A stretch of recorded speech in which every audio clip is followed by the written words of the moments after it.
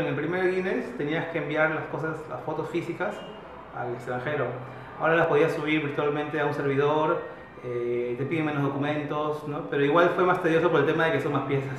Para los que no son tan fanáticos, pues los, les diría que, que vengan para conocer un poco más de la serie, que cada mercadería, cada pieza es este, eh, digamos, una manifestación de, del cariño por la serie. Así que van a poder conocer la serie a través de un álbum de, de cromos, a través de una figura. Y no solo van a poder ver, sino también vamos a poder conversar, eh, digamos, ver videos también de la serie. Así que anímense que la serie Sansei lo máximo transmite muchos valores positivos, de amistad, de solidaridad y, y de justicia. Sí, he guardado algunas cositas como para ir sacándolas más adelante, pero el 80 hasta el 90% de mi colección está pues expuesta para el público.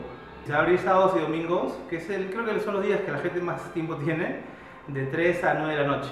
Pero los que no pueden venir los sábados y domingos pueden contactarme a través de la página web museosanseia.com y coordinar una fecha especial, ¿no? Porque hay gente que a veces que viene de provincia, de otros países y viene por un día determinado, ¿no? Día de semana a veces, ¿no?